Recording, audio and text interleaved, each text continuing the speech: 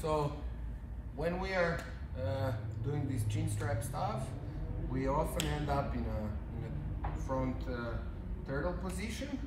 So uh, we'll just be covering some options which involve only attacks from being here, not transitioning uh, to the back. So however we end up here from being in a, a side control chin strap or after rolling over and then my opponent trying to escape, when I end up here, my first option would always be to just slide this hand from the chin to out to get my guillotine. When I do this, it's very important what kind of uh, grip I have. So it is the gable one where my blade is towards the neck of my opponent. You don't want to do it like this. From here to this. As I do this now, I'm very strong with this grip, so I'm able to move this arm out of the way. So I lift my opponent a little bit and move the arm out of the way. From there, I step out and I bring my shin across his belly. From there, I want to adjust my grip, so go deep, go for the arm on top and maintain the height while I'm choking my opponent. Super important not to pull, but to stay up with your shoulder and have this kind of motion where you're making a tight, when you're making a hold stronger, not to squeeze, but to do this. So I'm crunching, my shoulder is next to his neck, and I'm doing this. One more time. So here I have a chin strap and a tricep control. From there, I slide this arm in. Hard part of the blade is next to his arm. Now I move it out of the way, step, go here. Adjust a little bit, block him, and I create pressure like this.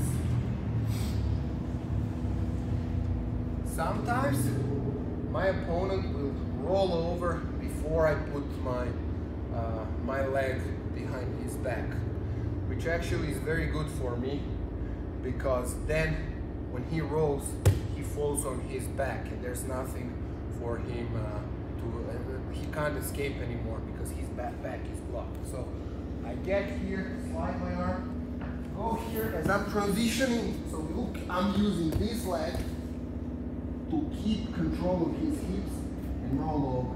When I roll over, I post with my head on the ground, step next to him, and start implementing pressure by posting on my head and both dropping my hips down. While you're don't change the position of your head. You go here and you just follow the roll with having this hook here. So I get here, move the arm here. Now he rolls, okay, follow me constantly. Here, sorry, I adjust it a little bit, then I add the pressure. If I go uh, here and now from here, see, sort of, he's this back. I can't really, you see, I can't connect here. I would choose to go to the other side. So I slide my hand on the other side and cross my hands here. As they're crossed, it is very important that the top arm is sort of in line with his shoulders. If I do this, he's gonna just slide his out, his head out, yeah. So I have to be here, having this kind of control getting with my shoulder underneath his armpit. At this angle, I'm able to tip him over and adjust my darce choke. While I'm adjusting my darce choke, I really want to post this hand onto my bicep. I don't want to go here and low. I want to flex my bicep and cup uh, strongly this arm. I don't want to come short and here. You see, this is weak. When it's up on top of the bicep and I cup it strongly, now it's very deep. I want to stay on this right elbow and place my hips down. And again, I'm doing the same motion as when I was submitting from the roll with the chin strap. I'm bringing my left elbow towards me. So again, I am making the space smaller. I'm not just squeezing, but here I am bringing my elbow towards my shoulder. One more time. I am here. Now, yeah, I count, so I go on the other side. Slide this arm here, grab here. Closing my elbow next to his shoulder. And as I'm here, I'm not gonna start pushing the, this way. I'm gonna get my angle. And now I'm gonna push him over here. Support the head. Get my grips high, up, posting on this elbow. Drop the hips down. Now when it's all strong, when I'm down with my head, I start lifting the elbow of mine. When I do this, sometimes my opponent can post out and I'm not.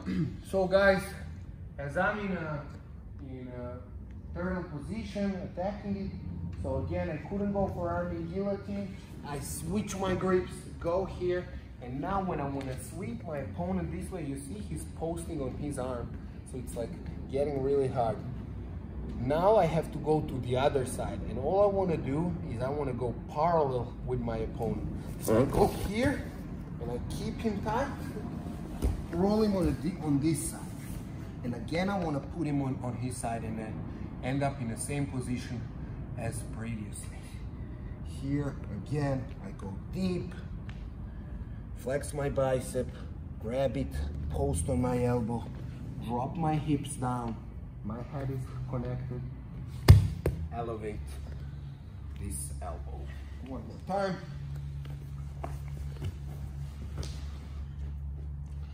I am here. I want to go for uh, arm-in guillotine. He's defending. I change, get this grip. Want to sweep him? It doesn't work because he's posting.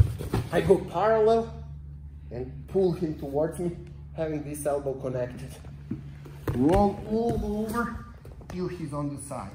When he's on the side, I adjust a bit, cup the bicep, put my hips down, my head is connected, elevate my elbow. Okay, so those are basically two ways of locking with two variations.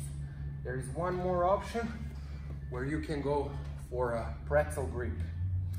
And it is the one where I'm just cupping here um, from the beginning, but my opponent goes and grips around with this arm as he wants to sort of like go for the leg or whatever.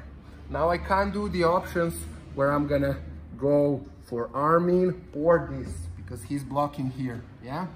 When that's the case, I'm just gonna go and start pulling my opponent towards me.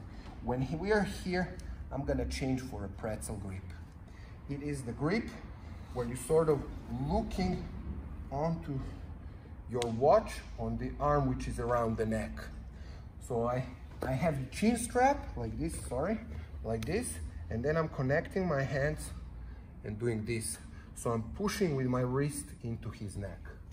He's around, I'm here, I'm pulling, getting him here.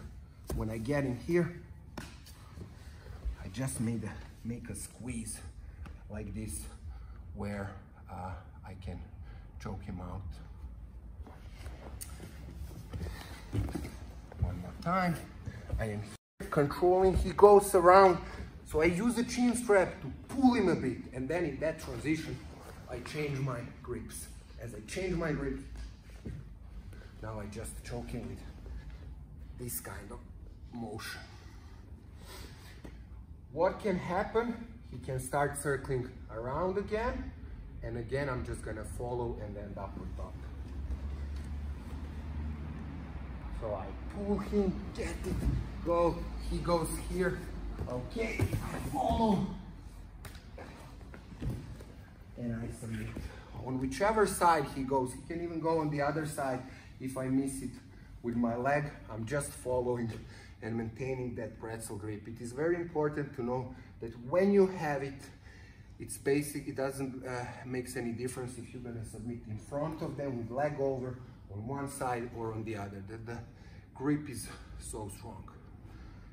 Thank you guys.